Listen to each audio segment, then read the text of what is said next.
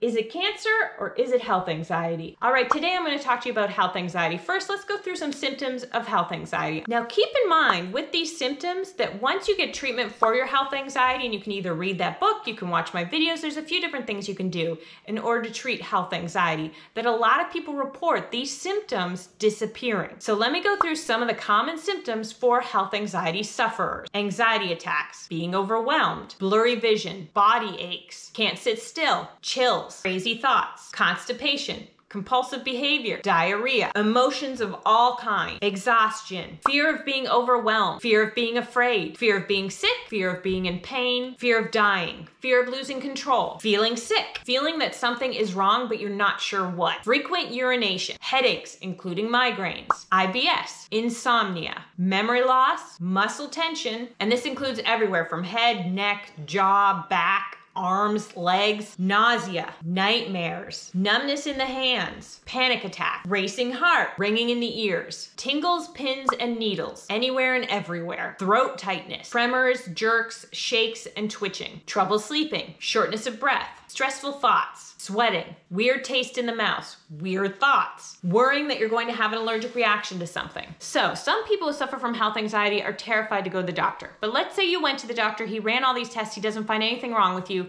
and you feel relief initially, but then you get home and you're completely panicked again a little while later, or maybe even a couple days later, that there's something wrong with you, that you feel there's something wrong, that there's these symptoms that no one's noticed. So, if this sounds like you, then you have health anxiety. So, yes, you do have something wrong with you. It's called health anxiety. The most common things that health anxiety sufferers are afraid they have are ALS, cancer, or Parkinson's. So, what do you do about it? Well, one of the things you can do about it is you can talk to a therapist, you can talk to a counselor, you can talk to your doctor and get a prescription. Another option is you can read this book. It's one page a day, that's all it is, and it gives you helpful information that will really target your health anxiety explain to you what's going on explain to you what to do.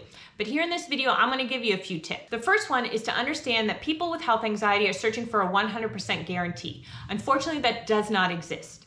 So you're going to the doctor, or you're calling your mom, or you're Googling your symptoms, hoping to receive some type of level of comfort that there's nothing wrong with you. The problem is, is that even if you do find that, it's short lived because you're going to continue searching for a 100% guarantee. There's no such thing as a 100% guarantee in anything.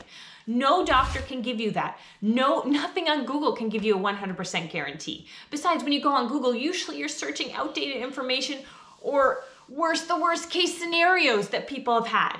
And that does not help someone with health anxiety. So, what are you supposed to do? One of the things you're supposed to do is get used to being unsure. So, tell yourself, hey, there's no 100% guarantee. I'm gonna be okay with that. There's no 100% guarantee. I'm okay with that. Another thing to consider is that you're afraid of death or you're afraid of being afraid in the future. So you're not really afraid of the future per se. You're afraid of being afraid in the future. So everything you do is trying to stem that. Every compulsion, every ritual, every self, usually the self talk rituals you go through, that's not gonna happen to you. You looked it up, you know that. Such and such had it, and they had this wrong with them first, and on and on and on.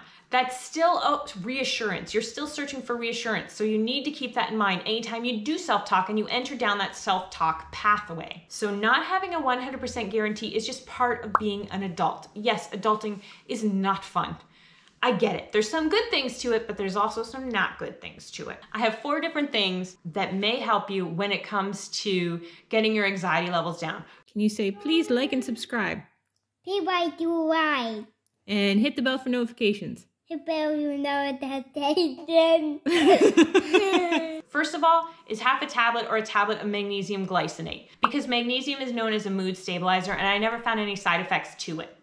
The second thing is that if you're over 35, you may have low progesterone. If this anxiety is new to you, you may have low progesterone. Amazon has an all natural progesterone cream that I do not get money from by telling you about this, and it does help and it will help when I need it. I no longer need it because of my diet changes, but if I ever do, I don't hesitate to use Source Naturals progesterone cream. It's all natural, it's not HRT or hormone or hormone replacement therapy.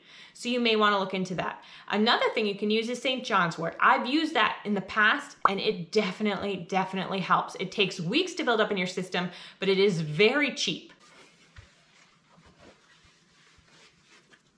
Sorry, I saw a spider. I had to kill it. So you can get about 150 pills for like 20 bucks. And it does take at least three weeks or more to build up in your system. But when it does, any negative thought or worry that comes into your head, it immediately disperses. It's quite phenomenal. And I found no side effects. The third thing you can try is the most researched supplement in the world, and it's found at truehope.com. It's a collection of vitamins and minerals. So go ahead and take a look at that. I've seen that work on people who suffer from depression. And boy, the symptoms just within a couple days I mean, it's like a veil lifts off them, they described it as. So, I personally, people who suffer from anxiety generally don't like to take pills, and I didn't. So, I would recommend getting on a good diet.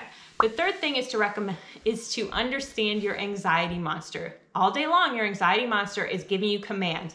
Google this, check that, double check that. Did it change? Did it not change? It's sending you images and thoughts that are very upsetting. It wants you to do certain things like wash your hands again, don't eat that, avoid this place, go to this place, do that ritual again. It's sending you commands all day long. So it's you and this opponent.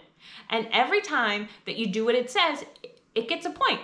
And every time you do the opposite or you don't do it, you get a point. So you can do the opposite or not do it. But wait, how do you not do something? All right, so not doing compulsions, normally pretty difficult.